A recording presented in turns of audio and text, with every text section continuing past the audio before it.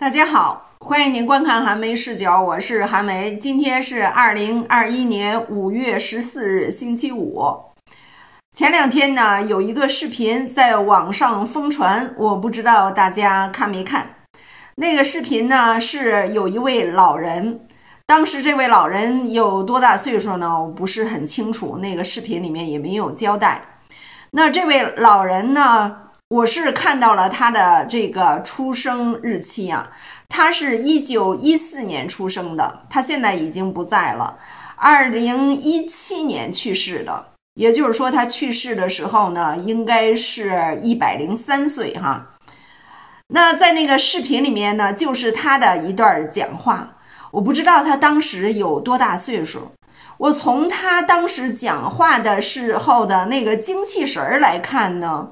有可能会是在八十岁左右吧。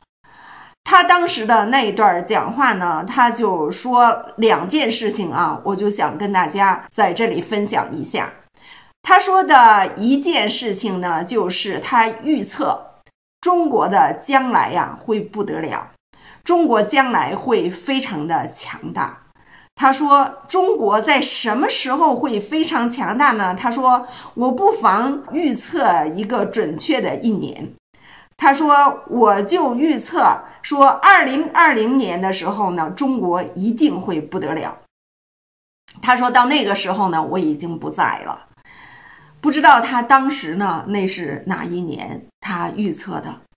那他现在呢，就果然是他已经不在了，因为他一九一四年出生的嘛，到二零二零年，对吧？都多大岁数了？所以他能够预见到他自己已经不在了。但是呢，他预见的真是没错啊！二零二零年，中国真的是已经很厉害了。那二零二零年呢？美国也意识到了中国的崛起，中国会是美国霸权地位的一个威胁。其实中国不会威胁到它的霸权地位，中国会威胁到它的世界第一的这个位置。那从二零二零年开始呢，中国和美国就进行这个交锋。尤其是因为新冠肺炎这个全球性的灾难的面前，显示出来了中国全方位的强大。从中国的经济实力到中国的科技实力，到中国的治理能力，都显示出来了中国比美国要优越。所以说，二零二零年。那位老人预测的真准呐！好，这是一件事情呢，我想跟大家说的。这位老人在视频里面所讲述的，那这位老人在视频里面还讲述了另外的一件事情。他说呢，他早年的时候曾经去英国，那英国的朋友呢就带他去大英博物馆。那到了大英博物馆一看呢，大英博物馆里面收藏的东西可真多呀，收藏中国的东西都很多呀。然后英国方面呢就跟他说：“我们英国厉害不？我们英国的大英博物馆厉害不？我们收藏了全世界这么多的古物，还有这么多中国的这些古物，我们是不是很厉害？”然后这位老人当时他就说：“他说你们英国人不厉害。”我们中国才厉害呢！第一，我们中国的故宫博物院收藏的中国的东西呢，肯定比你英国收藏的要多，这是其一。其二就是我们中国的博物馆里面收藏的，我们只收藏我们自己的东西，我们不会收藏，我们没有，我们从其他的国家去偷来、去抢来的东西。你确确实实展出了这么多的来自于全世界的这些东西，这些好东西，这些宝物。可是呢，这都是你们抢来的，这是非常不光彩的。有什么厉害的呀？这位老人，他在这个视频里面，他这两点让我印象特别的深刻。为什么这段视频能在中国人当中现在是广泛的流传？也是因为这位老人他在里面所讲的这些话。在此呢，再一次对这位老人表示致敬，并且对这位老人表示缅怀。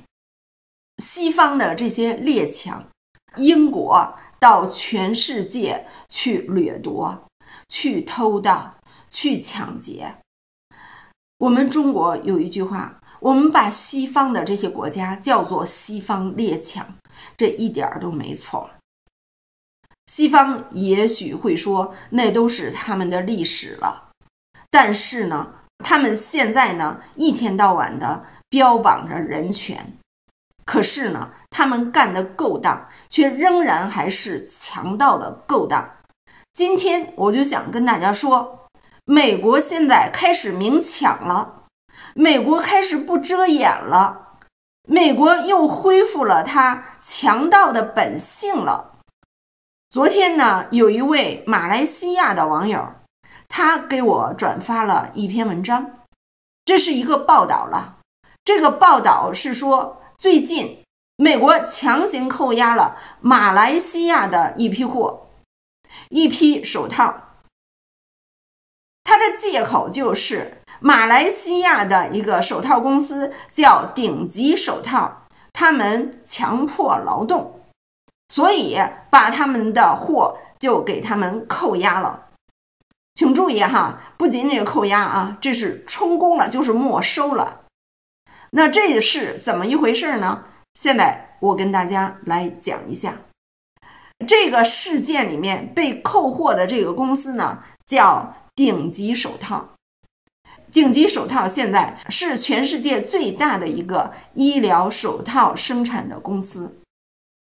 那这个公司呢，是在一九九一年的时候，由一个叫林伟才的马来西亚的华人创办的。对，没错，林伟才，他是一个华人，他是一九五八年出生于马来西亚的一个华人新村，他的父母也是马来西亚出生的，他的祖父母早年。在一九零二年的时候，来到了马来西亚。到了马来西亚以后呢，最初是经营一个橡胶园。我们从很多的影片当中，我们都能够看到，早期的时候呢，有很多的中国人下南洋，到南洋去割橡胶，有些人就成为橡胶园的。业主，那这位林伟才的祖父母就是这个人群当中的一份子，他们也是在那个时候到了南阳。我相信他们一开始也是去割橡胶，后来呢就成了橡胶园的业主。那可以说林伟才呢，他应该说是一个富三代了吧。那他呢，是一九五八年出生的。他在马来西亚上了大学本科，学的是物理。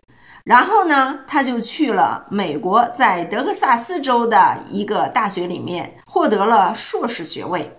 后来呢，他又去了美国俄克拉荷马州的一个大学呢，又获得了一个博士学位。那后来呢，他就回到了马来西亚。一九九一年的时候，他就创办了这个顶级手套公司。现在呢，他的工厂走出马来西亚，开到了泰国，还开到了中国。然后他的手套呢，就卖往全世界，在这世界上很多的国家，包括美国，有他的经销中心。好，就是这样的一个公司。我刚才已经说了，它是全世界最大的一个手套公司，那它占有的市场的份额呢，超过百分之二十五，占有百分之二十六的全球市场份额呀，所以你就知道它是最大的，很厉害，对不对？那它所拥有的员工呢，有两万多人。还有呢，他近些年他还收购了一个安全套的公司，现在他还是在全球拥有安全套的市场也有很大的份额。这老板林伟才以及他的公司呢，真的是做的是风生水起啊。但是呢，他的厄运就从二零一八年十二月九号英国的《卫报》的一个报道开始了。那二零一八年十二月九号的时候呢，英国的《卫报》做了一个报道，就报道顶级手套在马来西亚的工厂，说这个工厂呢。给他列举了这么四大罪状，第一个罪状呢是强迫工人加班，第二个罪状呢是叫债务束缚，第三个是扣留工资，第四个是没收护照，这四大罪状。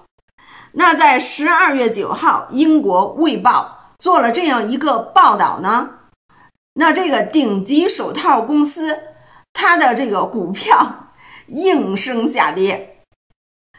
十二月十号，这个顶级手套呢，就赶紧就做出回应。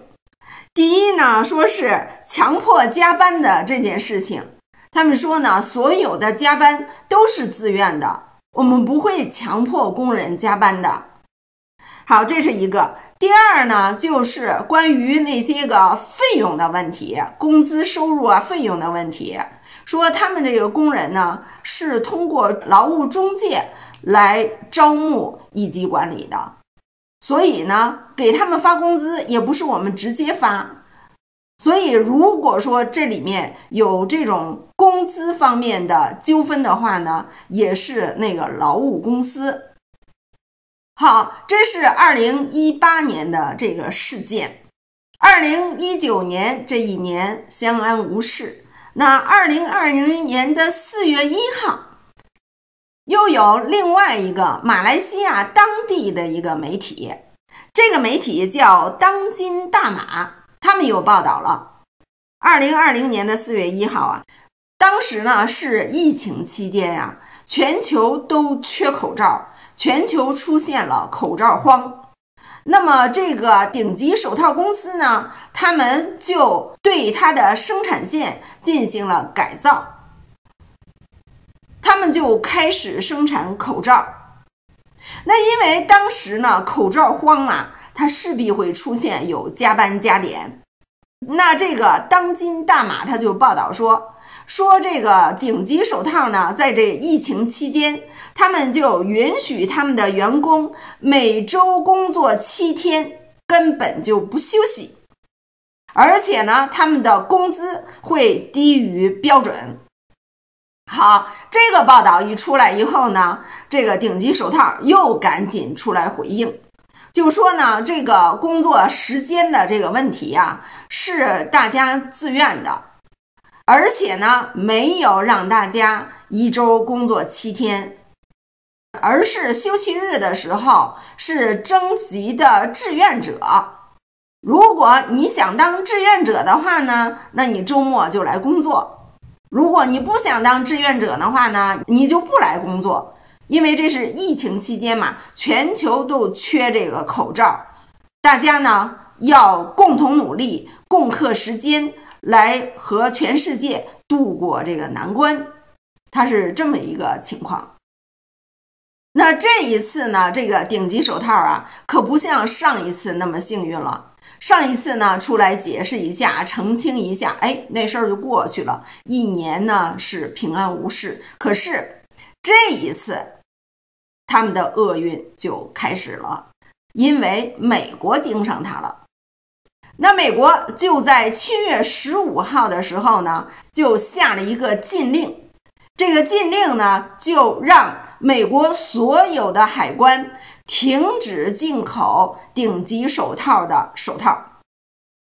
尽管当时美国也挺需要这个手套的，我估计美国应该是够用，不然的话他不会给他停了。那就停止进口他们的手套。原因是什么呢？原因就是 NGO，NGO 就是非营利组织啊。NGO 和媒体报道说，这个顶级手套有强迫劳动的事儿，因为你们强迫劳动了，我们对强迫劳动是零容忍的，所以你们的产品我们不要，并且呢，给他们三个月的时间让他们整改。哇，美国这一出动，这个顶级手套知道问题严重了，不是三个月吗？那是七月份，好，八月份、九月份、十月份这三个月，然后这个公司呢就赶紧的整改。前面不是说吗？那些中介公司不是雇佣了这些外劳吗？之前的时候，顶级手套说那是中介公司的事儿，中介公司呢应该去解决这个问题。那这回美国出来，美国说你这个产品强迫劳动，你的产品我就不要了。然后现在呢，他们就出来说有哪一些员工和中介之间有这种资金的费用的这个冲突纠纷，然后呢，他们出来解决。然后他出来解决呢，会拿出来巨额的资金，对每一个尼泊尔的劳工，每人补偿一千五百美元，相当于当地的货币是六千二百二十三个令吉。然后给孟加拉的员工每个人补偿四千八百美元。为什么它会不同呢？我相信。可能是尼泊尔的那个中介呀，盘剥他们员工呢，可能盘剥的少；孟加拉的那个中介呢，可能盘剥员工的可能盘剥的多。我相信这个顶级手套呢，给员工的工资应该都是一样的，不会说呢，说尼泊尔我多给，孟加拉我少给，应该不会。那就这些补偿的支出，让这个公司付出了。一亿三千六百万令吉的这个费用啊，这在历史上一次性补偿员工最多的。那到十月十九号的时候呢，顶级手套就是宣布说呢，所有的问题都解决了。本来以为呢，这些问题都解决了，美国的禁令打开了，然后就没事儿了。哎，结果没想到，二零二一年。一月十五号的时候，就是美国的第一狗腿子加拿大就出来了。加拿大的一个广播公司，他们是通过偷录的一个方式，就深入到了顶级手套这个内部，对他们的工厂、对他们的员工宿舍，秘密的录了一些视频。那这个视频呢，在二零二一年一月十五号的时候，在加拿大的广播公司就放出来了，并且对这个顶级手套公司进行了如下几个方面的一些指控，主要就是说呢，这个顶级手套公司对他们那些员工的这个住宿条件不好，这个住宿的地方呢，环境恶劣。比较拥挤，对工人有很多的剥削，他们就透露的采访的那员工，有不同的员工就说：“哎呀，这工厂怎么剥削我们？”肯定能讲出来好多故事。然后呢，就对他们进行这么几方面的指控。第一个呢，就是战役劳动，之前也说战役劳动，不是很明白这个战役劳动是什么意思。第二是欺骗性的招聘手段。这个就是那些中介了，对吧？欺骗性的，有可能说：“哎呀，我们这个工厂是多好多好多好啊！”然后呢，来了以后觉得又不是那么回事儿，这就是欺骗性的。你要说到这个的话，欺骗性，我当年也是被欺骗来到了加拿大。当时中介就告诉我们说：“说你去了以后哈，那种理工科的人员去了，基本上一下飞机。”一个礼拜之内肯定能找到专业性的工作，所以当时我就以为呢，我下了飞机以后七天之内，然后我老公就能找到他专业性的工作，然后就能挣好多钱，我就成了这个家庭妇女了，就不用上班了。结果呢，完全不是那么回事儿，还一个礼拜、一个月你也找不到，七个月你也找不到，根本就找不到专业性的工作，骗人。就是我被骗，能加到加拿大的身上吗？不能啊，我不能怨加拿大骗了我，对不对？惩罚加拿大，让中国惩罚加拿大，你骗了我们的人。但是呢，加拿大就是说呢，说是顶级手套啊，欺骗性的招聘手段。这玩意儿工作机会对吧？这个工作机会是宝贵的，不是说员工是宝贵的。现在走到哪儿都是一样，大家都是找不到工作，而不是说，哎呀，这些工厂都求着你来，对吧？应该不会，用不着欺骗的手段招他们吧？但是呢，那些外劳公司呢，在他们当地有可能啊，因为你要从尼泊尔招一些劳工到马来西亚，因为他是出国呀，异国他乡啊。有可能给一些欺骗的手段，但是那是中介公司了。然后呢，就是扣护照，扣护照这个说实在的，在美国、加拿大也都有，那种也是由中介从中国招人的那种。我现在所在的这个城市呢，就是从中国招了好多工人，他们怎么来的呢？就是我们这边有工厂呢，他到中国去招人。他到中国怎么招人啊？就是通过中介嘛。那中介就把他们给招来。在加拿大呢，有很多这样的情况。有的时候呢，中介给他们招来之后，就把他们的护照给扣住，为了防止他们会跑掉，会黑下来。我雇你来是让你来工作的，不是让你黑下来，到时候去申请什么难民啊什么的。他就是那种方式嘛，那我相信什么尼泊尔的劳工，还有孟加拉的劳工，那个中介扣着他们护照，可能也是这个目的。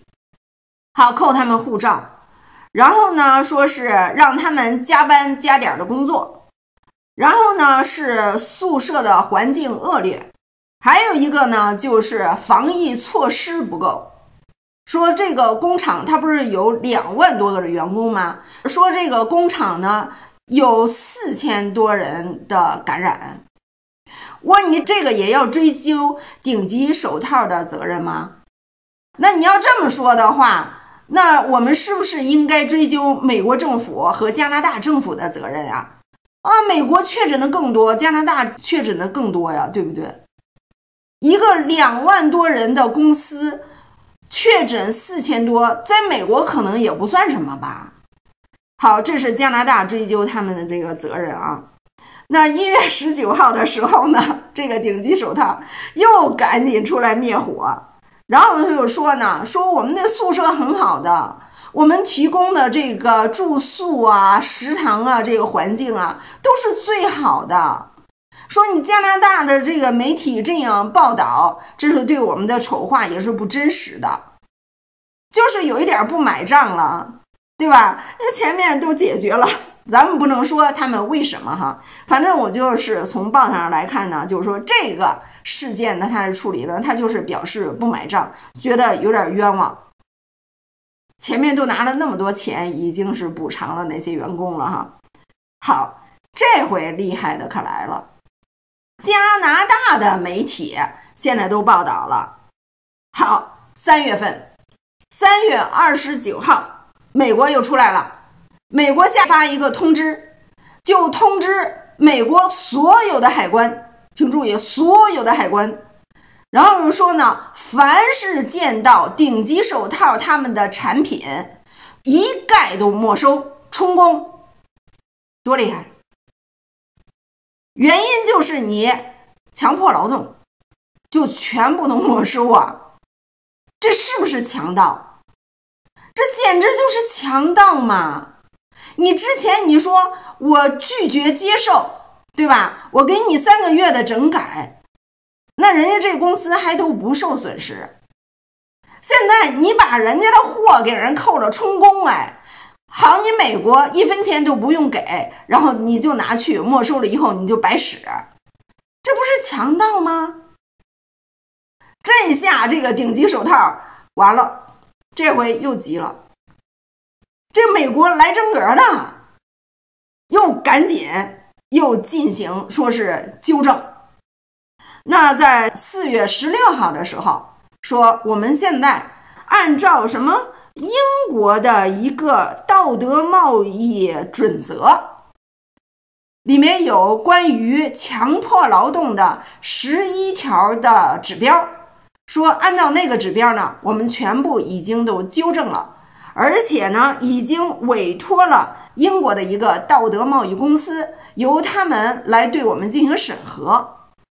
好，到四月二十六号的时候，经过这个公司的审核，说这顶级手套呢都符合那十一项的指标。也就是说呢，没有强制劳动，或者说已经没有了，经过整改已经没有了。这回应该是万事大吉了吧？对不对？没想到，这就是昨天马来西亚的网友给我转发的那个报道。前两天，结果呢，美国又扣了他们马来西亚的一批手套，这批手套是三百九十七万只手套。价值是五十一万八千美元啊，又给人家扣了，又充公了，这是为什么呢？这回马来西亚的这个顶级手套可能是就没招了，这怎么办呀？该做的已经都做了呀，那还怎么着啊？不是英国的评估都已经做完了吗？那还能怎么着呢？我现在我就认为，美国为什么这么办？第一就是抢。第二呢，抢货是其次的，是不是美国看上了这个顶级手套这公司啊？是不是想要这个公司啊？还是想要它的市场啊？我就是把你给打下去，然后呢，市场归我，或者是我想要你的公司，就跟他以前想要法国的那个公司阿尔斯通。结果呢，就想各种办法的来打压这个阿尔斯通那公司，到最后，阿尔斯通呢就低价卖给了美国，然后就行了。那我现在呢想提醒的是，中国应该从这事儿，应该是敲一个警钟吧。这个美国他可会抢啊！之前他只是说新疆棉花强迫劳动，我们不要你们的产品，中国可得小心啊！现在中国这个太阳能，他们美国又提出来说，中国这个太阳能产品啊，也是强迫劳动，因为这里面太阳能的产品绝大部分世界上用的呢都是中国生产的，可能能达到百分之八十吧。然后呢，就是像世界出口这百分之八十里面呢，有百分之四十多都来自于新疆。说是来自于新疆的这些产品呢，就是强迫劳动的。同时还有呢，即便不是在新疆生产，在内地生产的，说有的公司里面呢，也雇佣了来自于新疆的工人，也都是强迫劳动。哎，我就不明白了，怎么用新疆人的 公司就是强迫劳动呢？新疆人难道不应该劳动吗？是不是？新疆人不应该劳动啊！你要认为新疆人不应该劳动，你们美国给他养起来了，好吧？这是强盗啊！这就是强盗啊！找借口我就没收你，找借口我就抢你。中国可得小心啊！这强盗啊，明抢了就。好，我这个视频就跟您说到这里，感谢您的收看，下次再见。